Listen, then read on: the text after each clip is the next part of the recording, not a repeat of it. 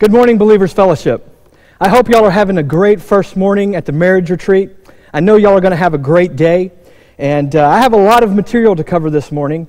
And I'm going to be talking about the 10 steps to training your child in a technological world.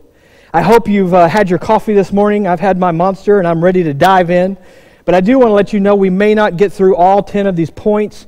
Um, they are in your workbook because I want to make sure that I have enough time to share with you the advice and the tips and all the different techniques that you can use to make sure that you protect and guard the mind of your child and secure your home from the attack of Satan coming in to destroy you, your life, your marriage, and your children. But before we get started, I think we have to start with basically some foundational principles that we have to look at in our own lives. The first one is this I believe we need to focus on being the man of God, the women of God, before doing the work of God. Psalms 24, 3 through 4 says, Who may ascend into the hill of the Lord? And who may stand in his holy place? He who has clean hands and a pure heart, who has not lifted up his soul to falsehood and has not sworn deceitfully. You see, there's no parenting book, there's no idea, there's no seminar that you can take that can compete with God's power that works in you and through you when you come to the altar with clean hands and a pure heart. I think, first off, we need to be real, holding ourselves to the same standard that we hold our children, that we admit our failures. I know there's adults in this room that are sitting here thinking to yourselves, I don't have any kids. So this really doesn't apply for me. And you're just going to tune me out, but I want to give you a, a warning because I believe the material I'm sharing with you today can be an accountability, a great accountability in your relationship with your wife, in your relationship with your husband. The second thing I believe we need to do is submit our abilities and our weakness to God and allow His power to work through who we are. 2 Corinthians 13 4 says, For we also are weak in Him, yet we live with Him because of the power of God directed towards us. You see, trying to do something in our own power always leads to self doubt. And it may cause you to mentally and spiritually give up. Don't make excuses for your children. Don't make excuses for your sin in the relationship of your marriage. And never, ever give up. The third thing I believe that we need to do is develop a plan that fulfills God's purpose. Psalms 127, 4 through 5 shows us what his purpose is. He says, Like arrows in the hand of a warrior, so are the children of one's youth. How blessed is a man whose quiver is full of them. Have you ever wondered why he relates or associates arrows with our children? I believe it's because it was the most precision weapon of the day. It was accurate. It was a long distance. It was the only long distance weapon. It was effective. It was the weapon of choice. But not only that, it took hard work to fashion those arrows. We've talked about that in our raising our children. It takes a lot of work.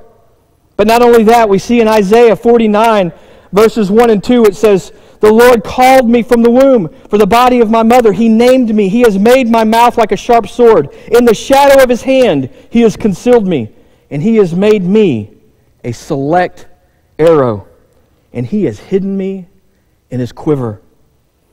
I want you to understand today, guys, that your child, your children are on loan to you.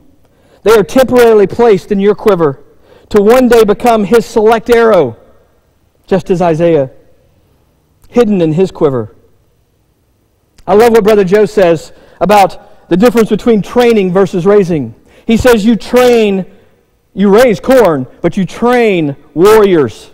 We need to be training warriors. We need to be training them as select arrows that are going to be hidden in God's quiver. That He's going to be able to take them and launch them off into the world to fulfill His plan, His purpose. It's going to start with us. We're going to have to set an example for our children. It starts with you. Whether you believe it or not, they are watching you. 1 Corinthians 11.1 says, Be imitators of me just as I am of Christ. We should be able to say the same things to our children. Watch me, because I'm going on with Christ. Follow me because he is my everything. What is our responsibility? We're going to look at that in a few moments the 10 steps to training your child. But I believe that most of it is found right here in Proverbs 22, verse 6. It says, Train up a child in the way he should go, and even when he is old, he will not depart from it.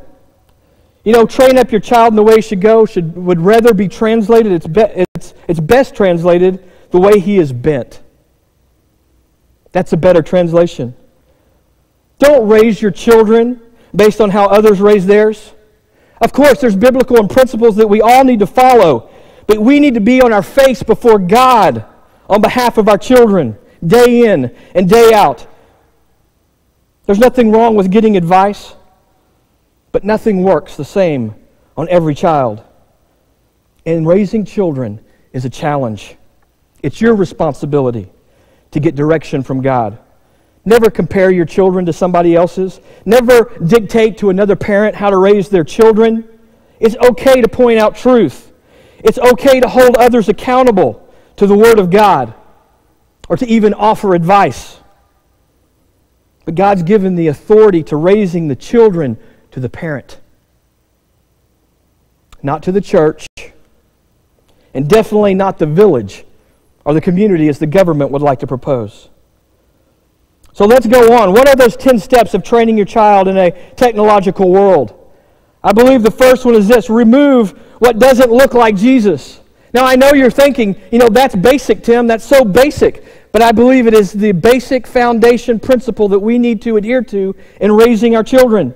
Hebrews 4:11 says, "The word of God is quick and it's powerful and it's sharper than any two-edged sword, piercing even to the dividing asunder of the soul and the spirit and the joints and marrow, and it is a discerner of the thoughts and the intent of the heart. Neither is there any creature that is manifested in its sight, but listen, all things are naked and open unto the eyes of him whom we have to do. I believe it's utmost importance and it is simplistic to apply the Word of God to the lives of our children daily. Which leads us to the next thing. We need to teach them diligently. Diligently, not just, not just on occasion, but diligently. John, I mean, 3 John, verse 1, verse 4 says, I have no greater joy than this, to hear my children walk in what? Truth. If we want them to walk in truth, we're going to have to teach them diligently. Um, we're going to have to bind truth to their frontals. I didn't know what the word frontals meant, but I want to read this passage of Scripture in Deuteronomy 6, 4 through 9. It is a great passage, but I'm only going to start at verse 7. It says, You shall teach them diligently to your sons, and shall talk to them when you sit in your house, when you walk in your way, and when you lie down, and when you rise up. You shall bind them as signs on your hands, and they shall be as frontals on your forehead. I looked up what this, what this meant. It's referring to two plates that are on the front of our skull that are right here on either side of our eyes. And we're supposed to place truth right here like blinders on a horse. So there is no distraction from the things of the world that are going around us. That we're so focused on truth that we can only please God. We're going to have to bind truth around their neck. You know, what is it that you value? You know, what do you place? What is it? What is a when we wear a necklace? What is it? We place something on there that we value, whether it's a pendant, a picture of our kids, a cross. We value it. It says in, in, in Proverbs 3, 3 through 6. I'm not going to read the passage. It's there for you if you'd like to. But it says that we need to place value on them, and it'll make your path straight. Bind truth around your neck. The next one is, is uh, found in Proverbs 6 22, 20 through 22. It says, basically, the next step is bind them to your heart, is what this passage of Scripture says. What is it that you bind to your heart? It's that which you love. Because it's going to guide you, it's going to watch over you, it's going to talk to you, is what this passage says. The next thing I believe we need to do is teach them basic traits of Christian character. In Galatians, we need to teach them the fruit of the Spirit, which the last one is self control. That's the biggest thing we need to be teaching our kids in this technological, technological world is to be controlled, to control themselves. Philippians 4 8 says, Finally, brethren, whatever is true, honorable, right, pure, lovely, of good repute, excellent, worthy of praise, dwell on these things. We need to teach our children what to dwell on, what is worthy of praise. In 1 Corinthians 13 4 8, it says, We need to teach them what love is. You know this passage. We need to teach them what love is so that they will be able to identify the counterfeit. We need to teach them to recognize a counterfeit. You know, I love what Brother Joe said when his son went to work for the bank. He said, you know, they taught him how to, how to identify and recognize a counterfeit by having him study what the real thing looks like. We don't need to study the counterfeit. We don't need to go study these things, but we need to teach them truth. We need to teach them what the real thing looks like. We need to teach them what God's plan, what God's purpose is for their lives. The third thing we need to do is raise the standard. Amos 7 7 9 says that uh, thus he has showed me, and behold, the Lord was standing by a vertical wall with a plumb line in his hand. And the Lord said to me, What do you see, Amos? And he said, A plumb line. And the Lord said, Behold, I am about to put a plumb line in the midst of my people Israel, and I will spare them no longer. We need to raise up the plumb line of God in our lives, of our children.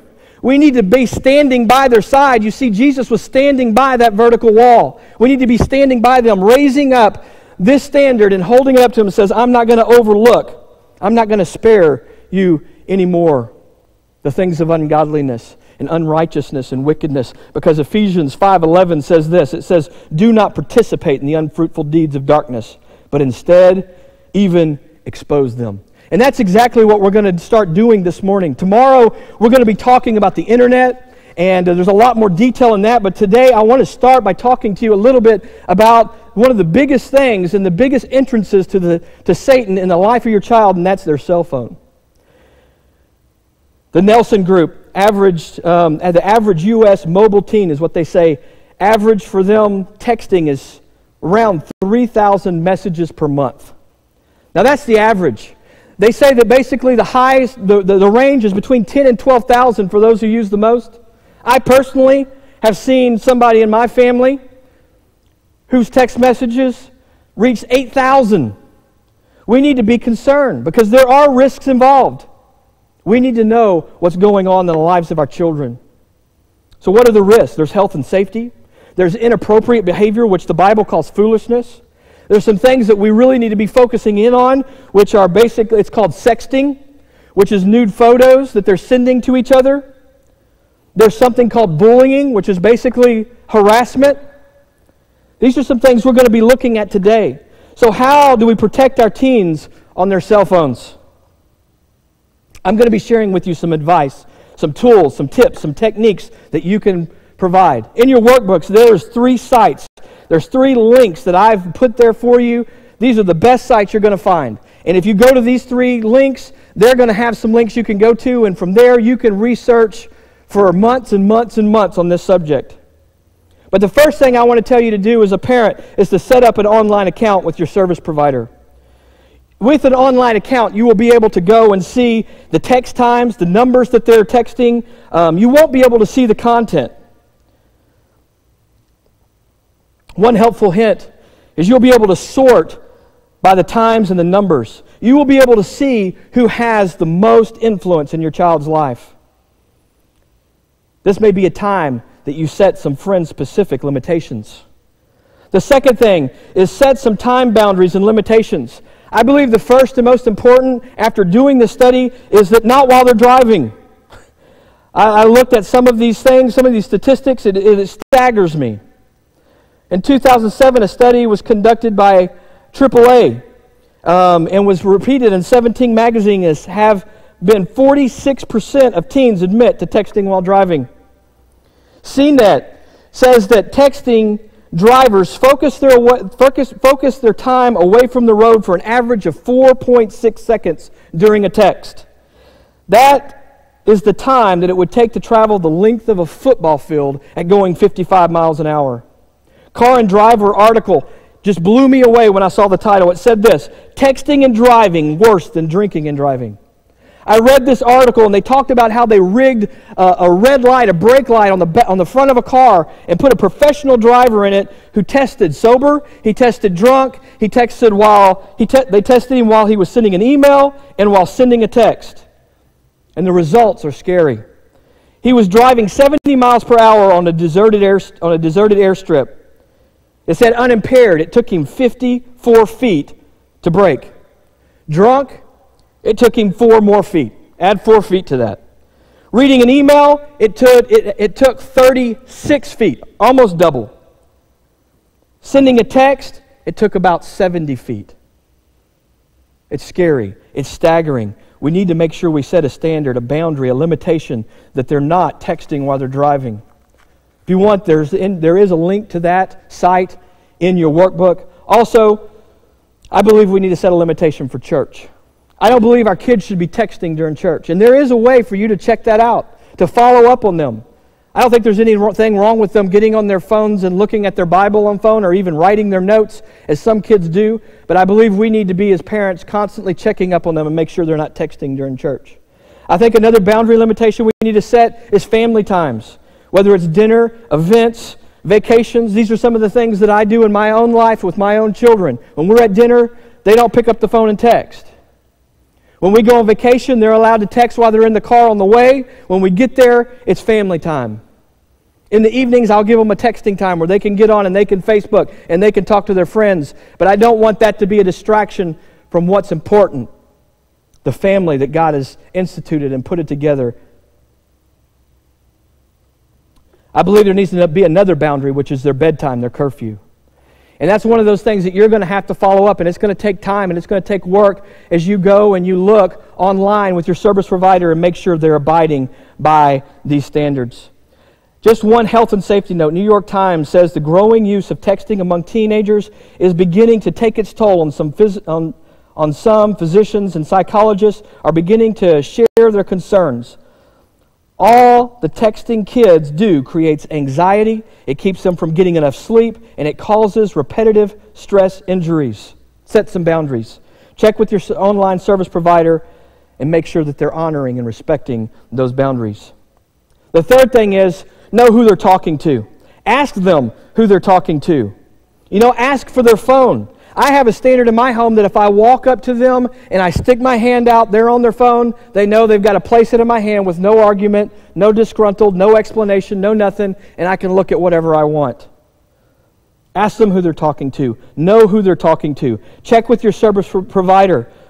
If you don't know them, you don't know the number, ask them who they are. If they don't know or you don't believe them, call it. Find out who they are. It's important to know what the competing influences are in your child's life. Don't give up. It's going to take work. The fourth thing is monitor their conversation. Now, I want to tell you right now, this is not invasion of their privacy. This is not invasion of their privacy. This is good parenting. I love what Brother Joe has to say about it. He calls it the FBI, it's the Family Bureau of Investigation. You know, in the beginning, this is what I've done, and I believe it's the best way to do this. In the beginning, only you tell your child, only you are allowed to delete their messages. You scroll through and you read what's going on. You hold them accountable to what they're talking about. You know, I have a same I have an iPhone. I have the same standard for myself. I never delete a text message. It's big enough to hold every text that I've ever sent. My wife can get on my phone anytime she wants and she can scroll through every single one of my text messages to anybody I've ever sent one to. I believe it's a standard we should hold ourselves to as adults. They're usually going to delete the message they don't want you to see. And that's where it's going to take time when you go online with your service provider and make sure that they're not deleting text. Remember, you can look in, in, in the, at the time and the number of texts. You can see where they're missing. You can, you can pretty much figure out the character of the friends that they're talking to about the messages they're having to delete. I'll tell you this, and it will occur there's usually times of panic where they're going to erase all their messages, and that's when the FBI needs to come out and find out what's going on in their lives. Have a set instruction and discipline what happens if when you stick your hand out, they don't give you their phone. Speaking from experience again, there's going to be times where they're going to take their phone and they're going to run up the stairs and delete everything before they hand it over to you. You're going to have to have some wisdom in that moment. to what you're going to do and how you're going to defend them against what's going on in their lives. I believe later on, once they mature, once the trust level's built up, you can have a spot check. And again, have a predetermined discipline. With my daughter, who's a senior in high school, I walk up to her and I ask for a phone on occasion because I've built up an element of trust with her. She knows I've read every single one of her text messages in the past. And I walk up and I ask for her phone, and she hands it to me, and I look at her text messages, and I hold her accountable for them. I did find the best tool I think um, I've ever found. It is in your workbook. It's called uh, Phone Spy. Um, it's made by Brickhouse Security. Um, basically, what you do is you take your kid's SIM card out of their phone, you stick it into this USB device, you take the USB device, you plug it into your computer, and it'll tell you every one of their deleted texts that have not already been overwritten on the memory card of their SIM chip. I think this is a great device. My advice to you is if you would like a device like that, get with some other parents that want one and buy it together and keep it up here at the church or someplace convenient where you can go and on a regular basis look and see what's going on in the life of your child. Its cost of that $79. I believe your children are of high value and we shouldn't look at the price tag, but this is a great device that we can use to monitor and, and keep the enemy out of the lives of our children on their cell phones. Use the Word of God in this. Use truth. And when you're reading their, their text messages and you see something that's inappropriate, indiscretion, teach them with the truth. Teach them with the Word of God. You know, when they, you see examples of them giving counsel to friends that are hurting, tell them to pray for their friends. Tell them to tell them, I'm praying for you. Use it as a ministry tool. It's a great opportunity to teach them in their lives. But always give reasons for your discipline. Always give reasons. The more you do this, the more they will respect the limitation and the boundary. The more they will respect you as their parent.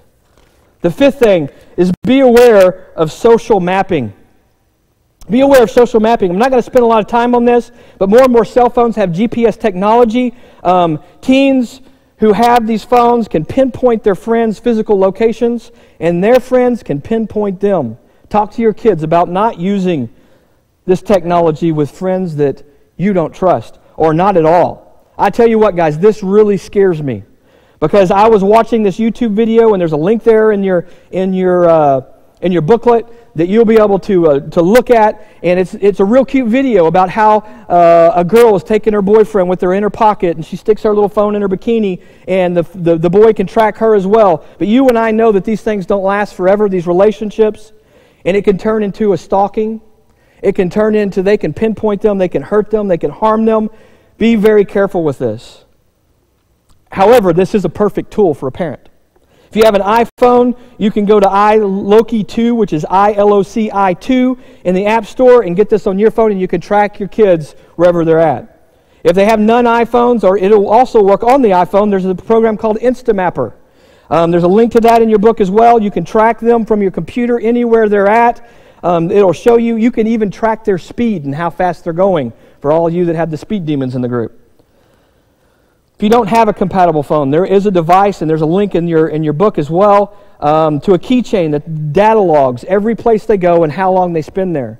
Um, so that you, in your own convenience, can take that. It's a little USB device that goes on their keychain. You put it into your computer, and it'll tell you everywhere they've been and how long they've stayed there at your convenience. That is a little pricey. It's $269, but there's a link there on how you can get that. I've also included a, a GPS location sharing tips for parents. Um, there's a link there so that you can do some more research on that as well to determine what your limitation and your boundary is going to be in that area. The next area I want you to be aware of is smartphones.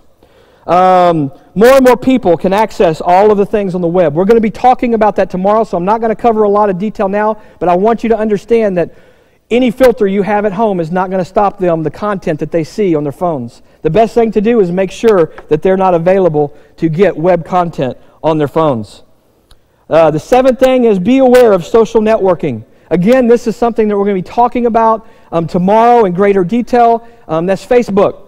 Um, that's MySpace. That's these kind of things that we're going to be talking about, but I want you to understand they can also do this on their phones.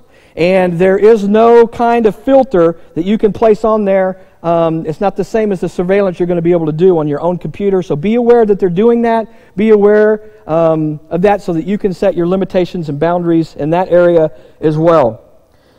Um, the next thing is be aware of media sharing. All these, all these phones that we have today have cameras and they have videos on them. Teens love to share media with their friends, but there's both a personal reputation and safety aspect to this, um, as well as a legal responsibility and a legal aspect. Talk with your teens about never letting people photograph them in embarrassing or inappropriate situations, and vice versa. They need to understand their rights and they need to understand the privacy rights of others. Which leads us to the next thing, which is the biggest issue, and the thing that we're going to cover the most here is in the area of sexting. Be aware and on alert of sexting. This refers to teens sharing nude photos via cell phones and the web too. This practice can be very serious legal consequences as well as psychological consequences. Pew Internet and America Life um, project says that 4% of U.S. 12 to 17 have sent sex. 15% received one from someone they knew. MTV did their own survey with the TV network and the Associated Press, and they said 29% of young people 14 to 24 um, have reported receiving messages with sexual images. I want to tell you this it's illegal. You need to tell them that don't take or send nude photos or suggestive photos of yourself or anyone else. If you do, even if it's of you and you pass it along to someone else, you could be charged with producing and distributing child pornography. If you keep them, keep them on your phone or on your computer, you'll be charged with possession. If they go across state lines, which is very easy in the day and age we live in, people moving, keeping in contact, if this happens, it's a federal felony. If you get caught with any of these things and are charged with any of these things, you will be a registered sex offender for life. Your child will. There's a lot of parental tips that I have here. There's some links. Teen sexting tips for parents. They're in your book. Sexting primer for parents.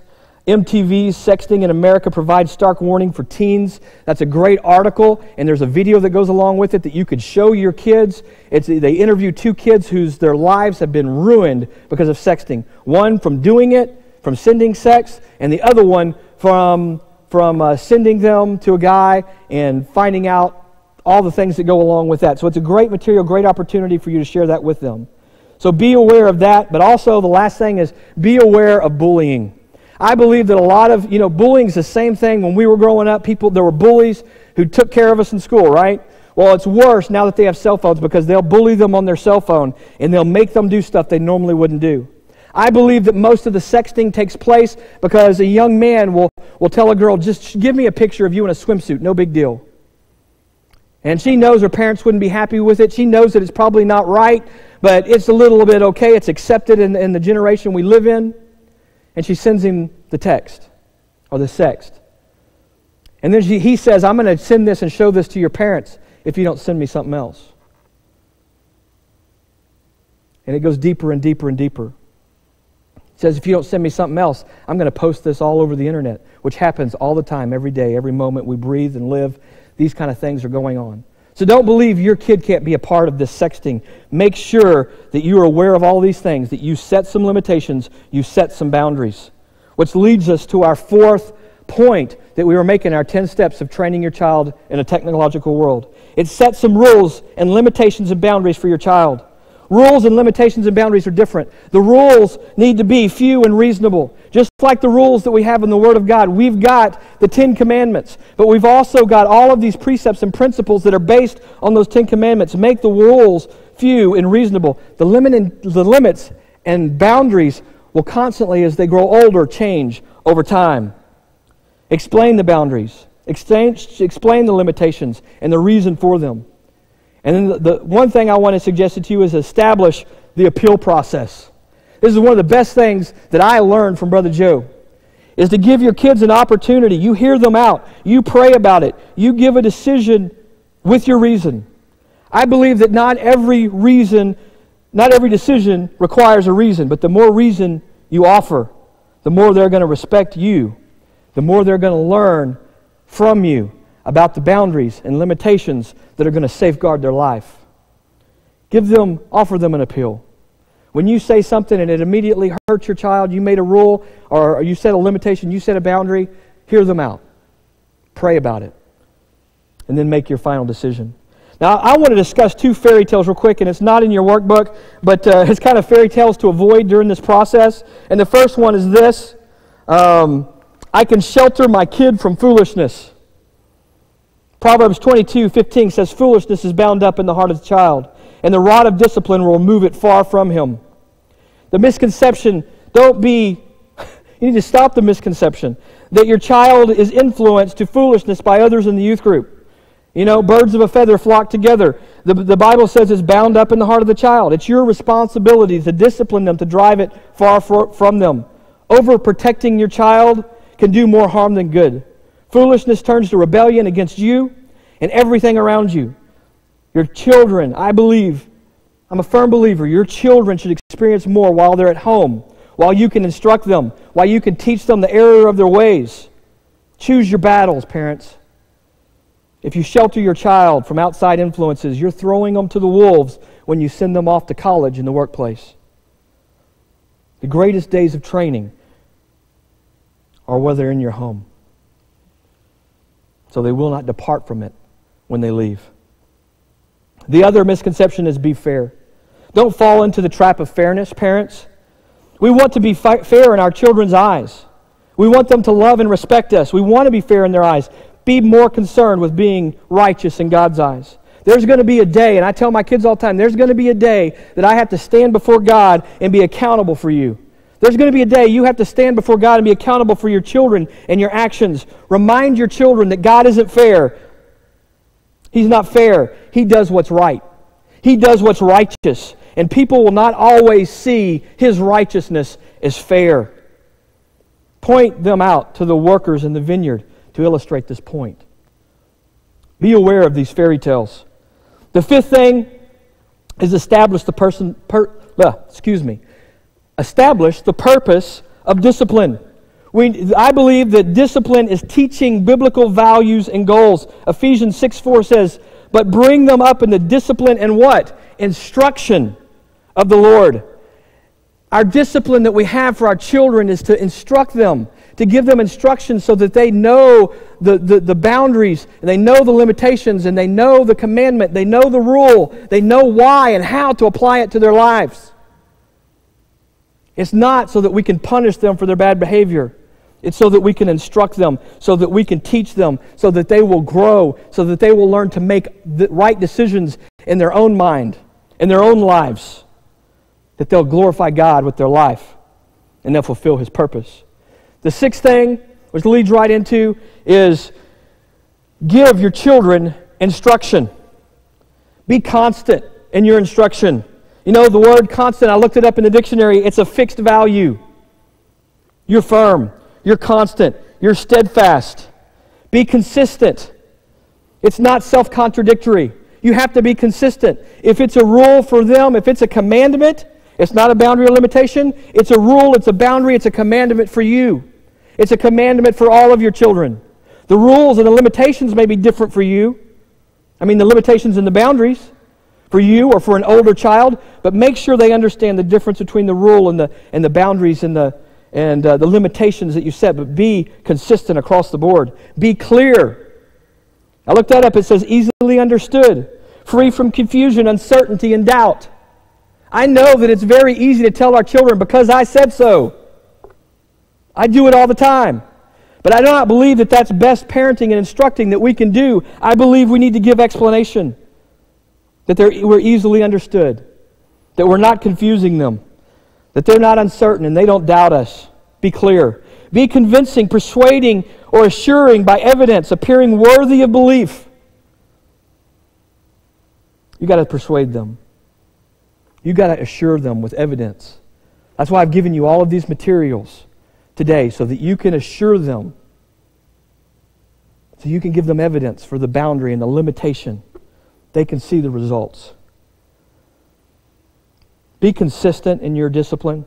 Kids come to me more often than not saying their parents are hypocrites, that they're frustrated because the rules are not clear and the discipline is inconsistent. Think how frustrated that would make you on the job place. It would frustrate you to the point of giving up, quitting. But in the home, there's no place for quitting. There's a young person who's defeated and he has no hope in his home. That's when most youth turn to a lifestyle of rebellion when they lose hope. Believe it or not, your children value your discipline when it's clear and consistent. The seventh thing is give your children correction. I believe we need to make it real clear, consistent, and constant in that. We give them one warning. One warning. That means we're consistent. That means we're constant. We explain what's going to happen if they do it again. That makes us clear and convincing. We're instructing them, we're teaching them something. Then we follow through. And you know, that's where most parents fail right there. And that's what frustrates your kids more than anything else that you'll do in your instruction with your child. Is because when you don't follow through, you're teaching them that it's really not important. So they'll go out and do it again, and then you discipline them that next time, that next week, and they don't understand. They're confused. They're asking themselves, why did it not matter last week and it matters this week? We need to be more concerned with being righteous in our Father's eyes than we are about being the friend and being accepted in our children's. We need to give correction, but the last thing I want to put on this point of number seven is to use praise as well as correction. You need to let them know when they meet and exceed or when they fail your expectations and why. Let them know when you fail your own expectations. Relate to them the expectations that you have for yourself. Be open enough to share when you have failed these explanations, these expectations. Youth get frustrated and oftentimes give up when they can't do anything right or please or do anything pleasing to their parents. Make sure you use praise as well as correction. We'll continue with uh, step eight in our next session. I'll see you in just a few minutes.